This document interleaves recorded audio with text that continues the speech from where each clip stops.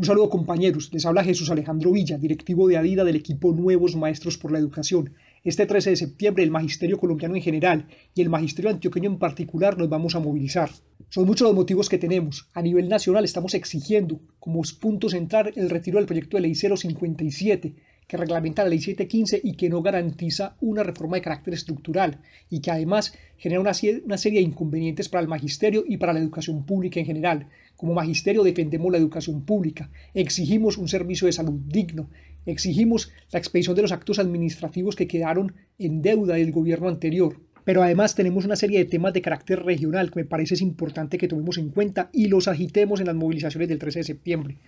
Son problemáticas como los traslados discrecionales que se vienen aplicando, los abusos en la jornada de permanencia en los docentes que se vienen dando el Departamento de Antioquia y en otros entes territoriales, la implementación de la jornada única sin condición y los esquemas de jornada laborales flexibles que generan sobrecarga laboral y estrés al magisterio, y también la revictimización de los docentes en condición de riesgo. Finalmente, compañeros, un tema fundamental que debe atravesar la lucha de todos los sectores democráticos que nos estamos movilizando en estos días es el respeto al derecho a la vida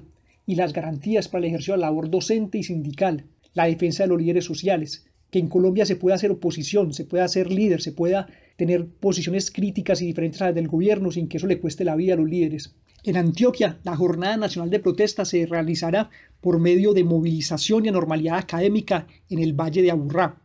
y en los municipios aquello que cada subdirectiva programe. Recuerden pues entonces que el 13 lo vemos todos en las calles.